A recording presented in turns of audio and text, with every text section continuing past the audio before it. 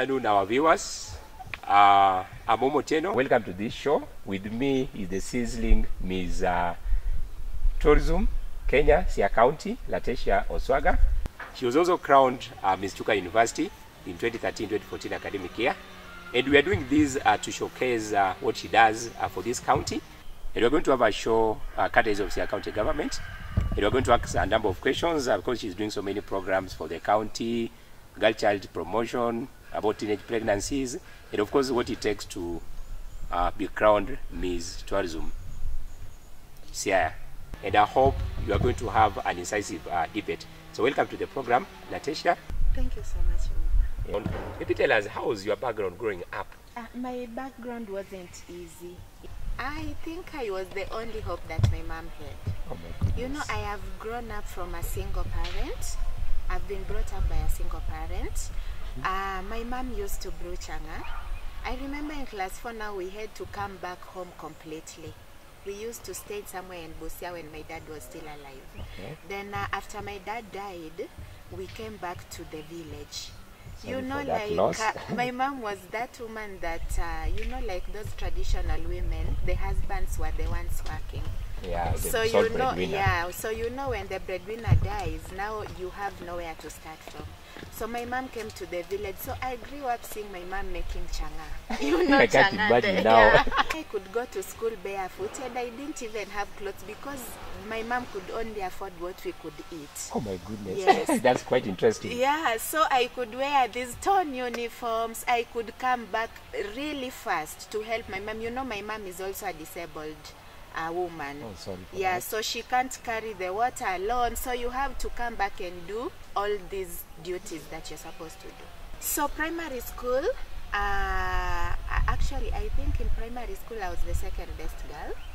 Oh I went to high school. I was called to a very, very big high school. It's called St. Clare's Maragoli Girls. Okay. So you know that time I really wanted to go to the boarding school. Then you know when you're also a child, you don't really know that your mom cannot, Cannot get afford. that. Yeah, you know that Babi will afford yeah. you to school. And then my mom always wanted to give me the best. Sure. So my mom really struggled. I remember that day. I'm telling you, we make we made a lot of chang'aa. We sold, we sold Oh until Had to pay your school yeah, fee. Oh until my, mom got uh, money to buy whatever I was required with to be admitted in St. Clare's Maragoli Girls. Oh my goodness. So at Form 1, I used to come back home for school fees like every, every You know that scenario that you are not visited. Those visiting day, at that time it was, you are not visited. Sometimes my mom didn't even have a phone. She doesn't know when schools are closed. so she, she, she could not even send me transport. So the principal would give me the transport. Then when I come back at the opening day, I would refund. Oh. So at Form 3 first time I was tired. And then I told my mom, why should I go back to Maragoli Girls and I see a school around? Then you know she was like she didn't want me to come to this school like she didn't she thought I would feel like my dreams are now shattered. Then she told me, "Are you sure you can go to this school?" I said, "Why not?"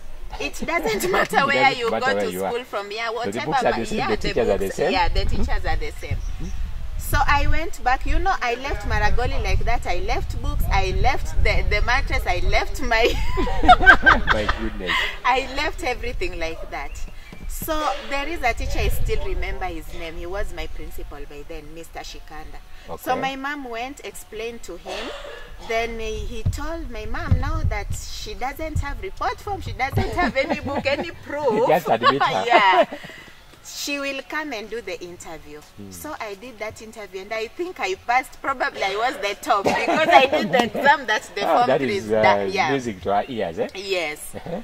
So that is how I passed. I went, they, they agreed to admit me, and I started schooling in St. Stephen Siginga Secondary Okay. School. So my good. Upon being admitted at the at uh, St. Stephen Secondary School, I didn't have uniform. Then I used to have a friend that we schooled with in uh, Sifuyo Primary.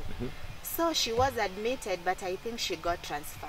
So I went and took his Oh uniform God. and everything. Yeah. That's quite a trending, eh? Yeah. Okay. So you know, I, I, So you I fitted in felt- her yeah, uniform or- Yeah, and then I went to school. I started schooling. I felt a bit of relief because you know the embarrassments that come with uh, going back home because of school fees Yeah, yeah the embarrassment that mm. comes with no visiting day you are not seeing anyone uh, someone doesn't even know when the school is closed and everything so i was a bit relieved and you know i love my mom so much now Oh what goodness. kept me going is at least i would come back see her help her hear her problems and everything yeah Yeah, so maybe that time that uh, you could do your domestic uh, chores, maybe up to 10 uh, p.m., Mm. then go to bed and with the first cock crow, maybe uh, did you, uh, uh, during that time, were you seeing how far you could go? Because I it's also take determination. Because you know sometimes you could just sink, eh? and this could just wear you down. Because imagine you come from a boarding school and where, uh, because of not paying fee, maybe what did you see? Maybe 10 or so years you, uh, you, later. you see I, I wasn't seeing that i could go somewhere because i was like uh, what if i pass you know those questions Yeah. what if i pass will i really be able to go to college yeah what if something happens right now then i was like how comes people buy these big cars? Like how come some people are just like they are just so comfortable? Mm-hmm. Yeah. Then i said let me just do my own then i leave the rest to the lord. God knows. God knows after you're done with this step he'll take you to another step another thing that uh, i would like to tell people out here Oh, yeah. is that they say god only help those people who run up to him Yeah. then another thing you will not just sit there then you say that i am leaving the rest to the lord you also need to work hard Yeah. How was your exams? KCSE. KCSE exams were not easy, being that I was doing them without a calculator. I was doing them without this mathematical table. I don't It think in a day school maybe you did have some of the best facilities, yeah, yeah, the library, yeah. not yes, well stocked, the yes, laboratories. Yes. Uh-huh. So all you have to get is you, you have to do more and more research, and then you have to be with your teachers. Like now, you should not even leave a space for your teachers. You should Oh inquire goodness. more minute and more. like- uh, yeah, counted, yeah? yeah. Oh my goodness. So I did exams without a calculator, mathematical table. yeah. And I passed. When- I was very, very happy. Oh my goodness, Let me tell you, yeah, I, I think the size of the school doesn't matter. Oh my The goodness. size of the viewers, you have school- to get yes, this, yeah? the size of the school doesn't matter. If you are out there Mm. and you don't have school fees, you mm. don't go to a big school. Do mm. not stress yourself. Just go to a school that you are able to afford. They are the same teachers, the same, Same- books. same you teacher. learn, read. There were challenges, but at least at the university there was help. And then back then now I, I started being the breadwinner of my family. You know, like I, I have my siblings, my brothers, so they were in uh, in uh, high school. And now they're looking up to you. So you know, I used to take this help. Now this help would pay their school fees Oh and give them food. When some use the help just to buy home theater Yes. and just go partying and yes. And uh, now the university would sort out part of my school fees. Oh my goodness. Yes. Yeah, because then now you went for this beauty thing at the Yes. and you, when you were crowned Miss Chuka University. Yes. Oh my- Before you were crowned Miss, yeah, you had been crowned earlier Miss Chuka University. Yeah. Yeah, maybe I was that feeling because of course maybe that's what gave you the inspiration to yeah. go for this uh, Uh, contest. Miss Chuka University is the title that opened my ways.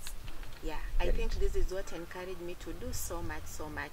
And uh, being Miss Chuka University also showed me that I could win Miss Tourism Siaya County. Okay. if you can tell our viewers uh, what does it take the mental? Is it only beauty and beauty or what else does it take? It is campus? not beauty. Uh, when we, we look at the beautiful women around here, you might find that I'm even the last one. It's all not about the beauty. It's never all about the beauty. Hmm? It requires brain. You Sure. know, like when you go out there, then you hear people saying, Oh, Miss Kenya, Miss World is not even beautiful. It's not all about beauty, is seen in different aspects. So, beauty is all about the courage, the ability to go for what you want, the confidence. Like- uh, when I was even going to model, I didn't have clothes, I Oh didn't have goodness. shoes. Yes. How did you navigate the, that terrain? you know like i had to borrow i borrowed clothes i borrowed shoes from my friends. Oh my goodness, then that they told me like you have to go for this, you can do this, you can do this. So I was going for them and at the same time I was also going for myself. You know when you are Miss University, you mm-hmm. have so many opportunities like from school fees, everything like yeah. So I didn't have school fees at that time. Then I decided to go for this because if my house can be paid, my fees food can be paid. Yes. Yeah. Uh, I don't listen to the naysayers. I don't totally. I believe in myself. I know I have what it takes to go for something, so that is what keeps me going. Maybe in terms of uh, the pressure that came, and because I know with this prize also there was uh, sometimes you could feel a bit lonely. Yeah. Maybe how did you handle that? Uh, you know, this comes with a lot. Sure, a it does. lot. Like you lose friends. Like people are even afraid to associate with you. They think now you are in another class better than them. I do believe that real, fl- real friends don't live. Yeah, sure. so Yeah, they, they stick don't. longer. Yeah. So the ones that stick with you, no matter how high you are or how, how low low you, you are, are. yeah, those are the ones you take. You know what people don't know is Mm-hmm. People start fearing you. You know, at times people think that now we have so many people coming after us while we get lonely at some time. Yes. sure they will. Uh, okay. Yes, so people fear you. People think that, hey, will I manage? Can I manage? Oh Really? oh like you are now now up on there. another you are the, yes. the, the pinnacle. In 2018, you were crowned uh, Miss Sierra County. Yes. How was the feeling? It was a wonderful feeling. I was very, very happy. I was so excited. Uh, and I, really thank God for that day. But again, I was also scared at the same time. I was scared because, you know, a crown comes with so much. Uh, there is this bit of you carrying the whole image of the Sierra County. Sure. And also you have different girls looking up to you. Uh, what inspired me to go for this uh, was uh, I really wanted to work for my entire Siaya County. Mm-hmm. And I, I love working with the girls. I also love helping the community. So when I heard about this platform, I knew this is it. This tourism Siaya County comes mm-hmm. after auditioning of Miss Sub Counties. Okay. So at my time, there was no auditioning of Miss Sub Counties. Okay. But at that time, we had a, a platform of uh, Miss Ugunja Sub County. Okay. So I went for that, and now through that is when I learned about Miss Tourism, Kenya Siaya County. So it was like a week ago I was crowned Miss Ugunja Sub County. Uh-huh. Then uh, Miss Tourism Kenya Siaya County auditions were happening a week A week later. later. Then I decided to come over. When I came, I'm telling you, we were so many, like almost around 32 Oh girls. I was Take really the bull by the horns, eh? Yes. And then uh, we came for auditions. We did auditions, and I was number four. I think 28 girls were chosen. Uh, the auditions were very stiff. You needed to know your entire county very, very well. Very, very well, yes. I Yes. just sing and leave the podium. Yeah, so it's not all about modeling and everything, whatever people thinks. It's not the case. It's all about how you know your county, how you present yourself. Yeah, because most ladies, when you talk about Miss uh, Tourism, Yeah. uh, Kenya, they may think about it's about brain, uh, it's about beauty, Beauty. it's about flawless legs and how you can walk. Yes, it's Maybe it is not more than that. it's more than that. And when I was number four, I went down. I sat myself. I called myself for a meeting. My goodness. And I asked myself, what don't I know? What have I not done right that made me not to be number one in the auditions? You find yourself that you think you know Siaya County so much. Then there is a lot, a lot inside Siaya County that you, you weren't even aware of. Okay. So you Google, you ask, you visit. So I went back, I researched, I visited these places. so when I came back, I came back Uh, packaged. package. I didn't know about my entire county very, very well. There were girls who knew the, the, the Siaya County as a whole. Then at that time, I also didn't know the tourist attraction sites that are found within the Siaya County. I knew some, but I didn't know. I didn't know all of them. Yeah. And then the girls were also good in everything. In 22 of us went to the boot camp. Then uh, from we stayed at the boot camp for two weeks. So we were being trained. Uh, we were being trained on different aspects. You are being trained about the etiquette, the modeling as a whole, the catwalk session. You are also being trained on the tourist attraction sites that are found within Siaya County and the entire Kenya. So maybe you can tell us about uh, Sia County. What is it, this uh, thing in the Sia County? That even our viewers from Sia County and even uh, beyond may want to know. Siaya County, first of all, is uh, the home of the 44th President of the United States. Of we have the biggest Gotramogi, the Ramogi Hill.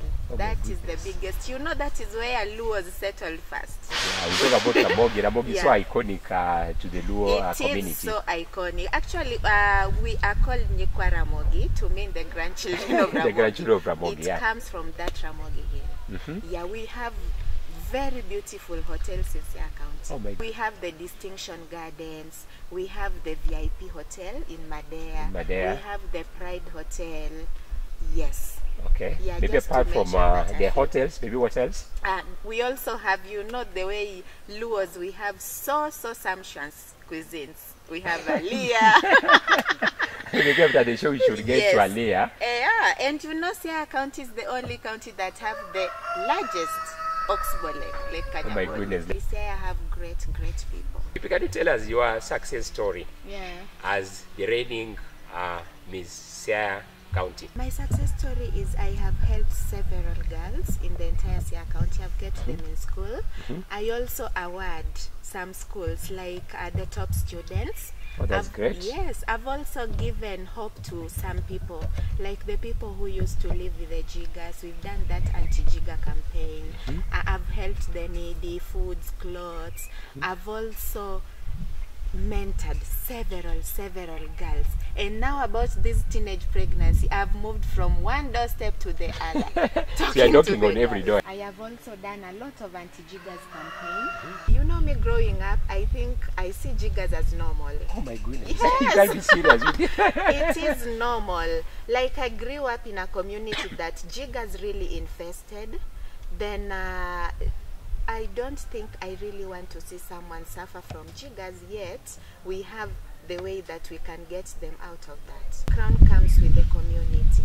They had to help the community. Namibia's as Miss Tourism uh, 2018, who was your role model? Because I talk about inspiration, there must be somebody that you are looking up to. It can be locally or even uh, internationally. So who is your role model as far as beauty and uh, modeling is concerned? I am telling you, I love Lupita Oh my goodness. I Such an love iconic that. figure. Yeah, I love that woman. You know, we don't share much. I think we come from different backgrounds, Hmm? but the fact that uh, Lupita has that courage, Hmm? that confidence to go for whatever she wants, to come out there, you know. You know, and of course now, you know, of course this uh, uh, legendary also came with challenges. Yeah. Now, what are some of the pitfalls that you faced? and which have given you your lowest moment that you almost want to break? Uh, my lowest moment is uh, you having money, you mm. seeing someone that is really in need and thinking that you can help him or her. People run to me. People even knock at my door. Yeah, that, Bottomless uh, I- pocket. I, yes, I mm. have a child. I don't have school fees. Please help me get bursary. Yeah, I have this and this. Uh, I don't have clothes. I don't have a house, and then you don't have the cash. You know, right now I have really networked. So I have contacts of. I, I, I am so close to the first lady of the Siaya County. okay. Yeah, I even talk to the women rep. Then I have so many politician friends. So when someone come to me, you know, I tell you come next week, and I am at zero. but when next week comes, I have to work hard to get Oh whatever is needed. Yes, I, I want to make sure that no girl leaves school. No, no girl leaves school. I want to keep as many girls as possible. You know this issue of sanitary. Back in my days, you know, we, we could use clothes. we could, yeah, Yeah. yeah. But right now, you find that uh, when a girl doesn't have sanitary towel, she will not even go to school. Like you Yeah, know, sure. the, the menstruation cycle, the period's time is about four days a month. Yeah, month, So yeah. you find that in these four days, the lady will not go to school. Yeah. Yeah, so I want to keep as many girls as possible in school. school, Yeah. yeah. I want to touch so many lives as possible. I want to change the entire society. I, I, I wish everyone would just normalize sex education. I even wish we would put it in our curriculum because That is a these big- girls have such a sex. topic, yeah? Yes, mm-hmm. these girls have sex, but there is no one to tell them what to do during that time that they are having sex. Yeah. And also, I think we should involve our boys. You know, people nowadays they just talk to the girl, talk Yeah, to the it's girls. about the girl child, yeah? Yes, but these boys are the ones making them pregnant. So I just wish I would get that platform to talk to both of them. Like tell the boys what do you need because truth be told, these girls are really having sex. Some Ah. girls are having sex because of these pads first. goodness. Yes. And I think just that's why you are because someone has just promised 100 bob for sanitary. Oh my goodness. They're also having sex for chips, for mandazis. Then another thing, I think some parents don't really talk to girls. You know, there are things that you should sit your girl down and tell him or yeah. her. They, after talking to the girl, I think she'll also understand where she is coming from. Yeah, because true. you might not expect chips in a family that is really struggling Uh, yeah, to yeah, feed the whole family. Yes. again, You know we cannot reach all the girls. So to the parents, you need also to talk to your girls about sex education. Mm-hmm. Do not let your girl go visiting because that is where yes, that is where they mess. You know, Ouma, I know when you're growing up. I probably is the same time I was growing up. Yeah. I don't think your parent will let you go visit someone. But right now, the school closes like this. The kid is in the vehicle going to see the aunt, the, the cousin. I, I don't really, you know, when your child gets pregnant right now, it's your child. Yeah. Yeah, it's You not disown her, yeah. So you can't wait for someone to come and talk to your child while you're not able to talk to your child. Yeah. Yeah. But it- I was shocked. I think the other day I was talking to some boys Mm-hmm. and they don't really know what to do during that act. like what do you need during that act? You know, at times we might be blaming our blaming our boys. It's only our girls who have this information. So the girl reaches there and she's not able to tell the boy what Boy. is needed. I yeah. think that's interesting. Yes. Yeah. So we are supposed to tell the boys what is also needed. We should just normalize this sex education. How I wish I would campaign so that it's put on the curriculum. Maybe as uh, the reigning uh, 2018 uh, Miss Tourism, Yes. maybe you can tell us uh, your wish list. My wish list is more platforms, more networks, more funds, more fan base to be able to continue with what I've been doing. Hmm? Teenage pregnancy, sanitary towels campaign, anti-jigger campaign, I think those are raising funds. yeah? Yes, raising funds for the needy, all that. So, uh, you know, you can come from a humble background and you can come from a richer background. It Sure. doesn't matter. It doesn't you matter. find people in the richer backgrounds that can't even come out and speak, Sure. can't even go for whatever they want. Yeah. So it doesn't matter. I want to tell anyone watching this video, anyone listening to me, that it doesn't matter whatever you come from. What matters is the confidence and the courage to go for what you want. I think I love my community, my people, the entire Sia County, County. society comes first. It is my responsibility. And you know, it is my heritage, just as I love my culture. My culture is everything. And of course, as we wrap up this, it has been a blessed afternoon because I know it's not every day that you'll meet uh, such a pretty lady for a sit down about what she's doing. And of course, one thing that I've picked from this interview is that uh, it does not matter about your background. What matters is about resilience, determination. And of course, like she told us that her role model is Lupita Nyong'o. And Lupita Nyong'o, who won the Oscar Awards in 2014, she was fond of saying that your dreams are valid. And of course, I want to encourage our young ones that no matter your background, Letesia's mom was just bringing Chang'aa and using that to pay her fee. But of course, she did not tire. Even she dropped out of school for Maragoli Girls, later on she managed to go to just a small day school in a village in Sifuyo until managed to go to the university and being the first girl who made it to the university in 2010 uh, KCSE. So it's about determination, it's about resilience. And of course, the people who come to your aid, don't disappoint them. And of course, that has been given at the right, and she's sojourned. So thank you, Letesia. Thank you. Yeah, it has been nice having you for this session.